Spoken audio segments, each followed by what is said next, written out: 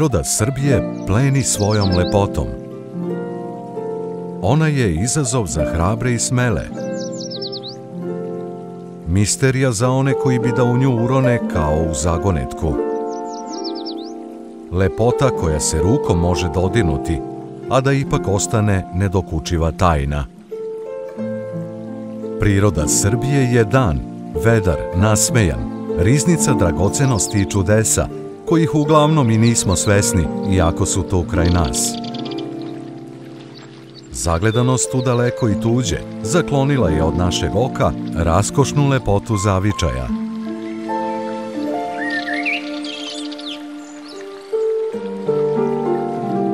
I tek ponekad, u svedenim tesnacima prostora, pogled nam se zadrži na jednoj tački i onda uz uzdah prozborimo.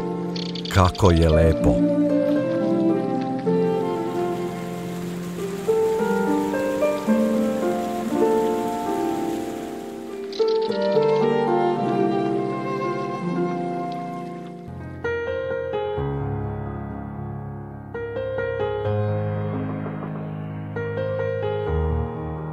Vrednost prirodnih lepota je tolika da je teško spoznati je ličnim iskustvom.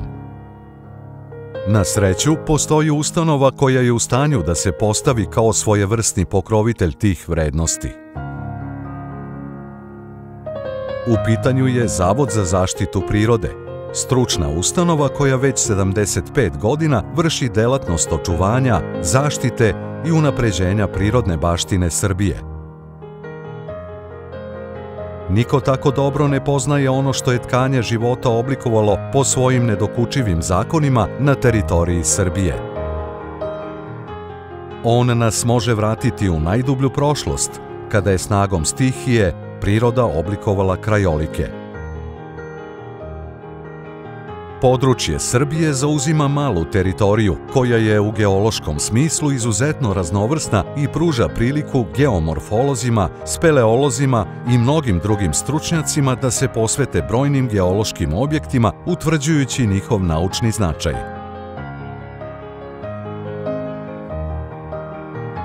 Pojedinačno su zaštićeni kao spomenici prirode, a mnogi se nalaze u sklopu većih zaštićenih zona kao što su nacionalni parkovi ili parkovi prirode.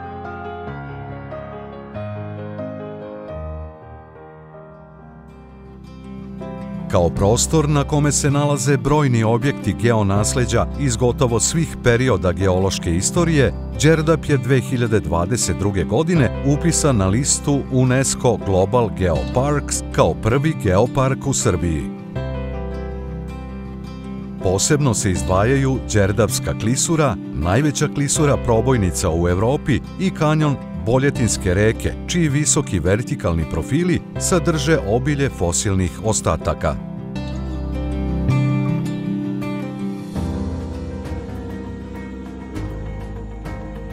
Svet neuporedive atrakcije postoji u Srbiji i pod zemljom. Čina ga pećine i jame, koje su toliko privlačnije i naučno zanimljivije zbog prisustva podzemnih voda, pećinskog nakita i živog sveta.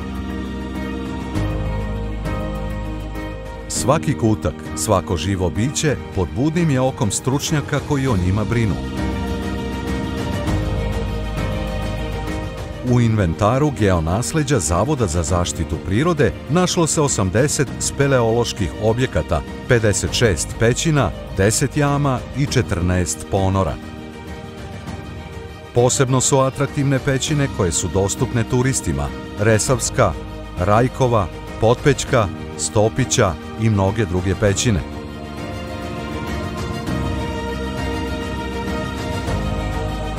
Ima i onih koje samo oni smeli mogu da posete.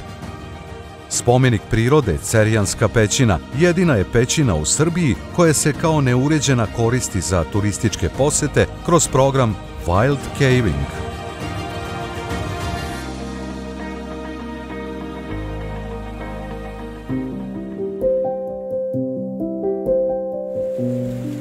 Bogatstvo voda je nešto čime se Srbija posebno ponosi.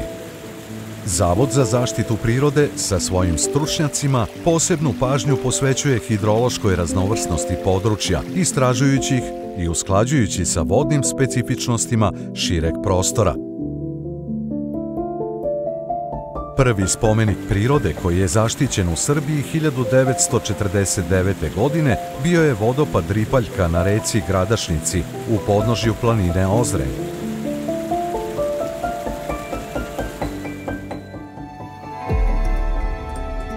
Zahvaljujući bogatoj geologiji i gustoj hidrološkoj mreži, Srbija je jedan od centara biološke raznovrsnosti Evrope.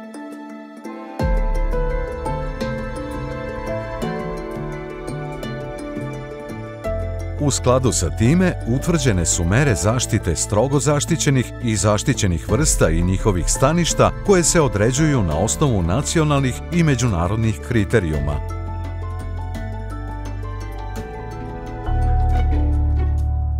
Naglasimo da je samo u Srbiji i nigde drugde na svetu otkrivena rtanska metvica –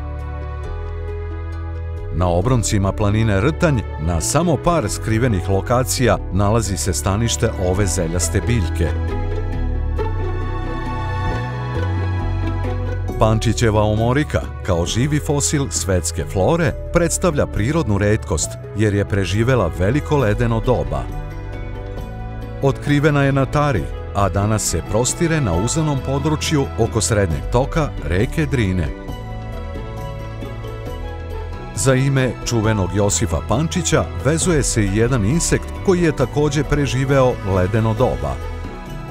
U pitanju je Pančićev skakavac, reliktni endemit koji isključivo živi u Srbiji i to na planinama Tara i Mokra gora.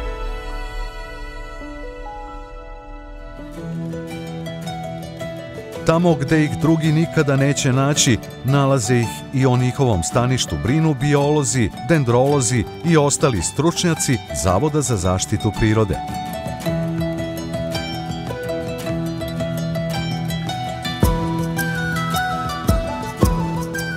Zahvaljujući njima, još uvek delimo životni prostor sa ugroženim pticama kao što su velika droplja i orao krstaš. U Srbiji žive i dve specifične vrste, dugorepa i mala sova, kao i gaćasta kukumavka, koje su preživele ledeno doba i zadržale se u refugijumima sa istim stanišnim uslovima koji su i onda vladali.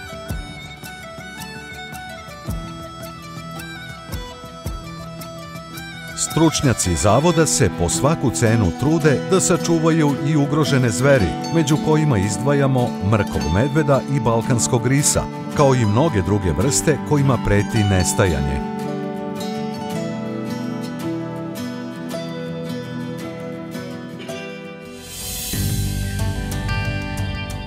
U prirodnoj baštini svake zemlje posebno mesto zauzimaju nacionalni parkovi. To su područja od izuzetnog prirodnog, ali i kulturno-istorijskog značaja. Oni su privlačni kako istraživačima, tako i turistima, bilo da je u pitanju Đerdap, Fruška gora, Tara, Kopaonik i Šar planina. Po vrednosti ne zaostaju Stara planina i Kučaj Beljanica, zbog čega su stekli pravo da se nađu na top listi nacionalnih parkova zemlje Srbije. Prirodno bogatstvo Fruške gore proglašeno je prvim nacionalnim parkom u Srbiji 1960. godine. Dodatnu vrednost na nacionalnim parkovima daju i spomenici kulture, poput manastira Rača i Prohor Pčinski, nekropola u Perućcu i Rastištu, arheološkog lokaliteta Nebeske stolice na Kopaoniku, Lepenskog vira, Golubačkog grada i mnogih drugih. Sklad i očuvanost prirode i tradicije lokalnog stanovništva razlog su zbog kojeg je Golija, zajedno sa manastirom Studenica, proglašena 2001. godine za prvi UNESCO svetski rezervat biosfere Golija Studenica u Srbiji.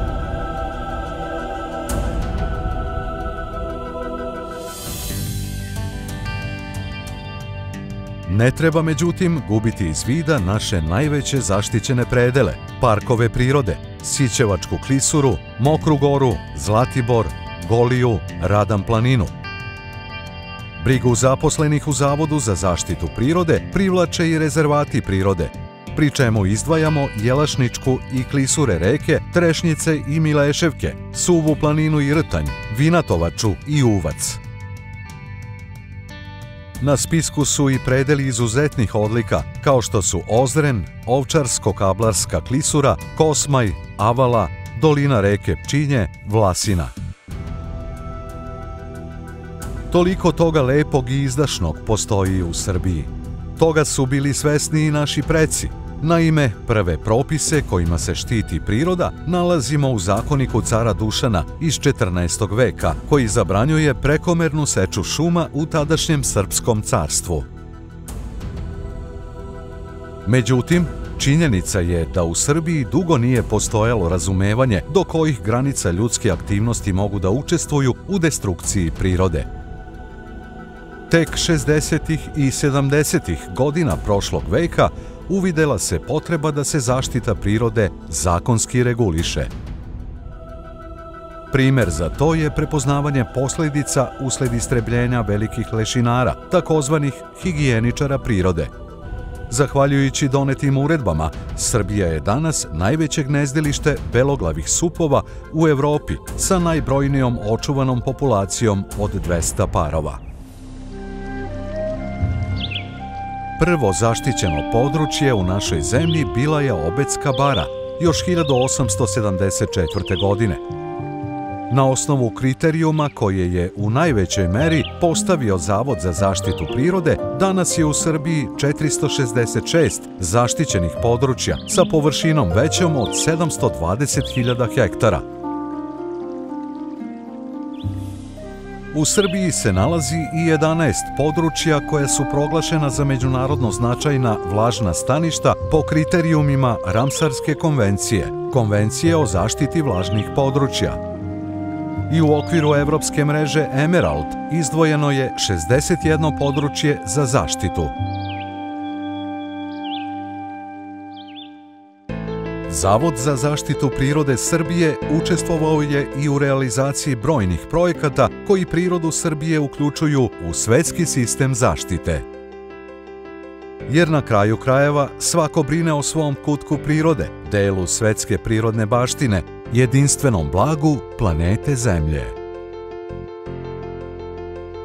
O prirodi naše Srbije, predano, posvećeno i po načelima nauke, brinu stručnjaci koji već 75 godina grade dobar imidž Zavoda za zaštitu prirode Srbije.